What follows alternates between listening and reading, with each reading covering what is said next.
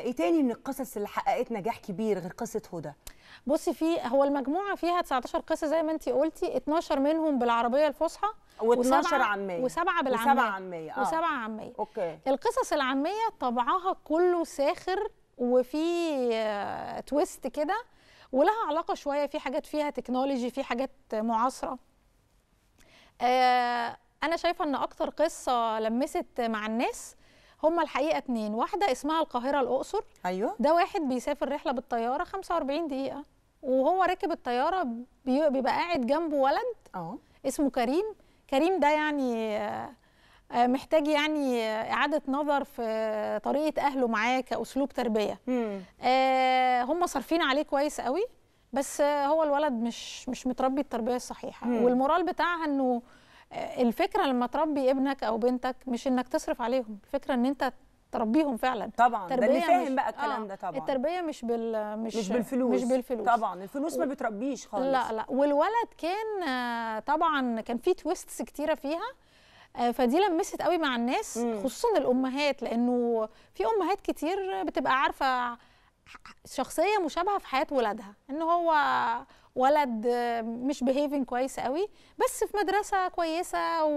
و... ونسبيا أهله صارفين عليه مم. فدي كانت قصة في قصة تانية دي برضو لمست قوي قوي مع الناس اسمها آه. في جروبنا رجل آه ده واحد راجل آه، مراته كانت تعبانة والولد وابنهم كان عنده امتحان تاني يوم. حلو. فدخل جروب ال mommies 45 دقيقة. آه بس. الأب. الأب. الله.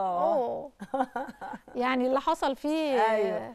دي قصص شيقة جدا على فكرة طبعا يعني في منها أكيد ال- ال- ال- ال- اللي ممكن يكون مؤثر وفي منها أكيد قصص شيقة جدا ولطيفة بس أنا عايزة أرجع تاني لنقطة حضرتك قلتيها وهي فكرة إنك اخترتي جزء بالعامي وجزء بالفصحى بناء على إيه تعملي الاختيار ده؟ يعني إيه اللي خلاكي تقرري إن ده فصحى وده عامي؟ ليه ما عملتيش كله عامي وليه ما عملتيش كله فصحى؟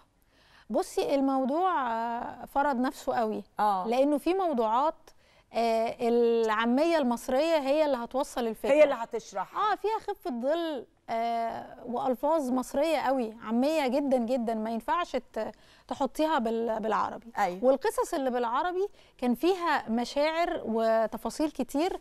الوصف بتاع اللغة العربية اللي هي لغة ثرية جدا بالمعاني والمفردات كان هيوصل الرسالة آه، أوضح أو زي ما حضرتك أوضح. عايزة. أنا التزمت في كل القصص آه، إن طبعا الحوار كله بالعامية. آه. بس القصص اللي بالعربية الفصحى السرد بالعربية الفصحى لكن الحوار بالعامية برضه أوكي. لأنه الحقيقة إنه لما الناس بتتكلم مع بعض بيتكلموا بالعامي حتى لو القصة بال- بالعربية. مم. فأنا حبيت إن أنا أبقى ملتزمة ده عشان يبقى أقرب كمان للناس. صحيح.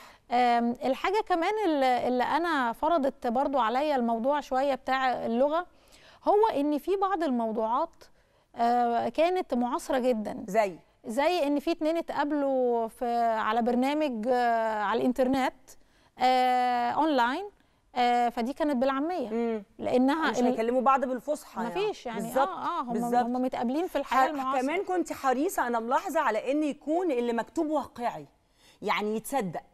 مش مش مش مش مش حاجات ما بتحصلش لا مش حاجات حاجات من بعيدة. الفضاء لا آه، لا بالظبط. لا ال- الواقعية بتدي صبغة حقيقية لل لل للكتابة. طبعا. ولما بيقراها كل واحد بيقراها بعينه طبعا. بي بتسمع معاه هو. صحيح. وده من ضمن الحاجات اللي أنا آه، حاسة ان إنها كانت آه، الحمد لله ربنا وفقني فيها إنه من ضمن ال reviews اللي بتجيلي لما حد بيقرا يقول لي إحنا حاسين إن اللي بيتكلم إحنا حد عارفينه. وإن الموضوع بيتكلم عن شيء إحنا عشناه أو لمسناه